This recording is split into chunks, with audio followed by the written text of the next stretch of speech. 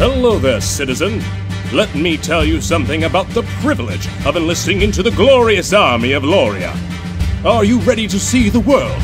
Are you ready for respect and admiration? To battle the enemies of the kingdom with your fellow brethren and live with honor?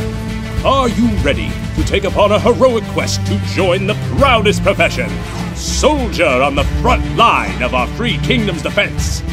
Because let me tell you this if you're not ready, ah, this is not a democracy. You, soldier, are enlisted. Congratulations.